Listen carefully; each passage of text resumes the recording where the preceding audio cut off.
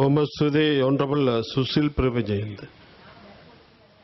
නියෝජ්‍ය කාරක සභා සභාපතිතුමනි අද මේ විවාදය පැත්වෙන්නේ විශේෂයෙන්ම ගරු මුදල් ඇමත්තුමා යෝජනා කරපු සවරින් බොන්ස් ජාත්‍යන්තර සවරින් බැඳුම් කර සහ ඒ මාර්ගයෙන් මුදල් උපයා ගැනීම සම්බන්ධ ආදී රෙගුලාත් සහ විධාන සැලසීම සඳහා විශේෂයෙන්ම වාර්ෂික අයවැය ඒ අයවැය සඳහා අවශ්‍ය වන්නා වූ විදේශ විනිමය රටේ ආනයනයෙන් සඳහා අවශ්‍ය වන්නා වූ විදේශ විනිමය මේ සඳහා සහ ණය පොලි ගේම් සඳහා ඒ අවශ්‍ය වන්නා වූ විදේශ මුදල් ප්‍රමාණය සොයා ගැනීම සඳහා වූ විධි විධාන සලස්වන්න. දැන් මෙතෙන්දී මේ විදේශ බැඳුම් කර අපිට ගන්න වෙලා තින්නේ ඇයි?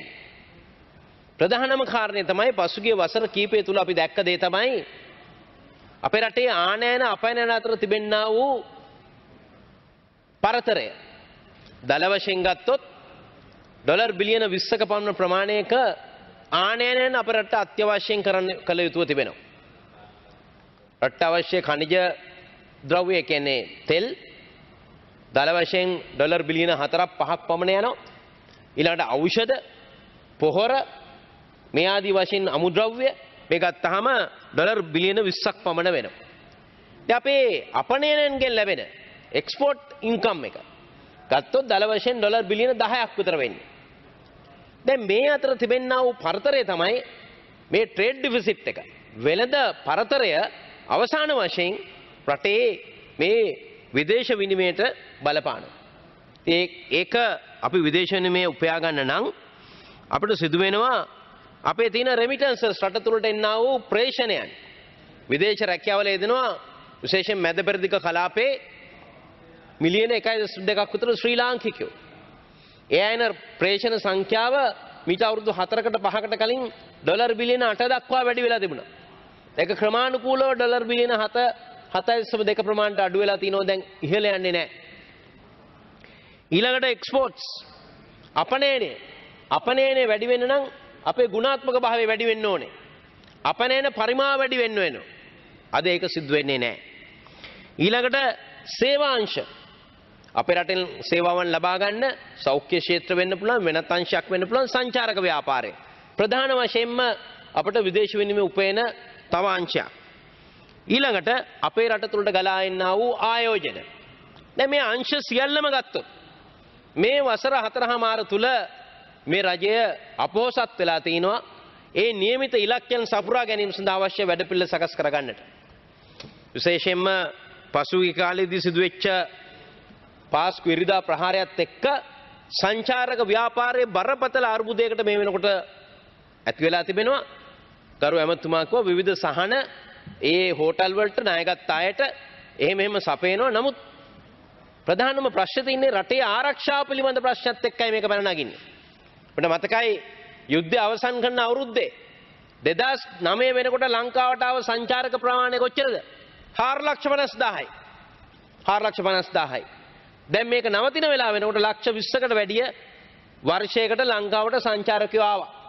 ඒ නිකන් ආවේ නෑ. ඒ ආවේ මේ රට පිළිබඳව ලෝකයේ දරන්නා වූ මතයත් එක්ක. ඒ මතයත් එක්ක රටේ ආරක්ෂාව තියෙනවා. දැන් රටවල් කීයකින් ට්‍රැවල් ඇඩ්වයිසරිස් නිකුත් කළාද? සංචාරය කරන්න එපයි කියලා. ඇමරිකානු ඇමරිකාව රාජ්‍යයෙන් දැම්මා කිසිම ඇමරිකානු පුරවැසියෙකුට සංචාරය කරන්න එපයි කියලා. චීනෙන් දැම්මා. ඉන්දියාවෙන් දැම්මා. මේ වගේ රටවල් 33කින් ට්‍රැවල් ඇඩ්වයිසරිස් දැම්මා. එතකොට අද සංචාරක ව්‍යාපාරය නැවත යථා තත්ත්වයට ගේන්න නම් හොඳයි අපේ ආයෝජකින්ට දේශීය ව්‍යාපාරිකින්ට හෝටල් කර්මාන්තකරුවන්ට යම් යම් සහන දෙන්න පුළුවන් ආණ්ඩුවට. නමුත් සංචාරකයන් රට තුළට ගෙන්වා ගැනීම සඳහා තව විශාල වැඩ කොටසක් කරන්න වෙනවා. රටේ ජාතික ආරක්ෂාව තහවුරු කරන්න වෙනවා. එහෙනම් මේන් පැහැදිලි එක කාරණයක් තියෙනවා. අන් සියල්ලටම වඩා අද දවසේ වැදගත් වෙලා තින්නේ රටේ ජාතික ආරක්ෂාව. මෙන්න මේ ජාතික ආරක්ෂාව තමයි 2015 ජනවාරි 8 පස්සේ පරදුවට තිබ්බේ මේ ආණ්ඩුව.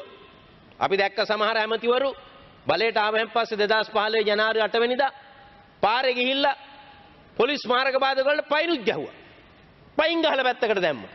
පයින් ගහලා පැත්තකට දාපු අයට අද ඒවා ගෙනල්ලා පාරේ තියන්න වෙලා තිනවා. අද කූඩාරම් ගහන්න වෙලා තිනවා. අද හැමතැනම පාසල් ගේට්ටු මුර කරන්න වෙලා තිනවා. මේවා අමතක වෙලා තිබුණා මේ රටේ අයට. දෙමාපිය රොටේෂන් එකට ගියේ. පාසල් වලට. එහෙම ගිහිල්ලා අවුරුදු 10ක් අවුරුදු 10ක් සාමකාමීව තිබ්බා. 2015 ඉඳලා මේ අවුරුදු 4 මාරට ජාතික ආරක්ෂා පරදුවට තිබ්බා. UNHCR එකේ යෝජනා, රාජ්‍ය නොවන සංවිධානවල යෝජනා, වෙනත් බටහිර බලවේගවල යෝජනා මෙන්න මේවා තමයි ක්‍රියාත්මක කළේ. ඒකේ ප්‍රතිඵලය මොකද්ද උනේ? ජාතික ආරක්ෂා පරදුවට තිබ්බා. අද ජාතික ආරක්ෂාව නැති වෙනකොට ආර්ථිකය ගොඩ ගන්න බෑ. සංහින්දියාව ඇති කරන්න බෑ. ජනවාරික අතර සැකේ වැඩි වෙලා. දැන් මම අහනවා සරල ප්‍රශ්නයක්. මේ ආණ්ඩුවට තිබුණු දැක්ම මොකද්ද? මේ සඳහා දැක්මක් නැහැ, සැලැස්මක් නැහැ, වැඩපිළිවෙලක් නැහැ. පාස්කු ඉරිදා බෝම්බ ගැහුවා. ඒත් වැඩපිළිවෙලක් නැහැ. අද වෙනතුරු මාසයක් ගත වෙලා අවසానයි. විපතරපත් වෙච්චාට සාන සලසන්නේ කොහොමද? කැඩී බිඳී දේවල් ගොඩනගන්නේ කොහොමද? ජන ජීවිතේ නැවත යථා තත්ත්වයට ගේන්නේ කොහොමද? මේ පිළිබඳව සැලැස්මක් වැඩපිළිවෙලක් නැහැ. මෙන්න මේක තමයි ප්‍රශ්නේ. අද මරණකයකට ගියත් මොගුල් ගේකට ගියත් වෙන උත්සවයකට ගියත් ජනතාව රැස් වෙලා කතා කරන්නේ දැන් අපිට මොකද්ද වෙලා තියෙන්නේ? දැන් දමිළ ජනතාවට කිව්වා බලය බෙදලා ඈ තීනට වඩා දීලා අලුත් ව්‍යවස්ථාවක් ගෙනල්ලා ලොකු ලොකු දේවල් කරනවායි කියලා. අද TN එකට උතුරට යන්න බෑ. දැන් කෙලිම ජනාධිපතිවරණයකට යන්න වෙනවා. දෙසැම්බර් 8ට කලින් ඔක්තෝබර් මුල වෙනකොට ප්‍රකාශයට පත් කරනවා ඡන්දය. දැන් උතුරේ දමිළ ජනතාව නැගෙනහිර දමිළ ජනතාව ආයි TN එකෙන් කෝ දැන් අර දෙනවයි කෝ ව්‍යවස්ථාව. කෝ සංශෝධනය මොනවාද ලැබුණේ? කිසිම දෙයක් ලැබුණේ නැහැ. කාලේ නාස්ති කළා. ඒ ජනතාවට ඒ ප්‍රශ්නේ තියෙනවයි කියමු. දැන් ඊළඟට දැන් මුස්ලිම් ජනතාවට ප්‍රශ්නයක් මතුවුණා දැන්. දැන් බව පහුගිය කාලය තුල මේ ඇතිවෙච්ච තත්ත්වය තුල මේ මේ 21 වෙනිදා ඉරිදා ප්‍රහාරය වළක්වා ගත්තන. අද මේ තියෙන තත්ත්වය කිසිසේත්ම ඇති වෙන්නේ නැහැ. වළක්වා නොගැනීමයි අපි සාකච්ඡා කරන්න ඕනේ. ඒක පැත්තකට දානවා. දැන් මං ඒ ගැන තවදුරටත් කියන්නම්. දැන් මහ බැංකු බැඳුම් කරේ. දැන් මේක අමතකයි. මහ බැංකු බැඳුම් කර සිද්ධිය වුණාම නීතිඥ තුන්දෙනෙක් දාලා කමිටුවක් දාලා ආ කිව්ව දැන් ඔක්කොම හරි කියලා. ඊට පස්සේ දැම්ම පාර්ලිමේන්තු තේරීම්කාරක සභාවක්.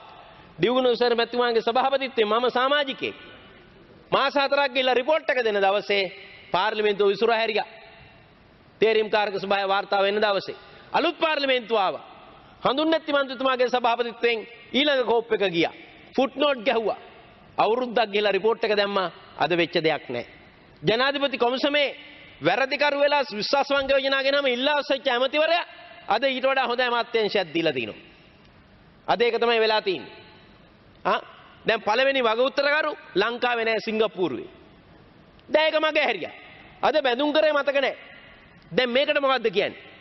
දැන් මේ පාස්කුරිදා ප්‍රහාරයෙන් දැන් මොනවද කියන්නේ ආණ්ඩුව? දැන් ආණ්ඩුව කියනවා අට දෙනෙක් මරා මරාගෙන මැරෙන අය මැරිලා. අටක් මරාගෙන මැරුණා. 250කට පිරිසක් අහිංසක ජනතාව මිය ගියා.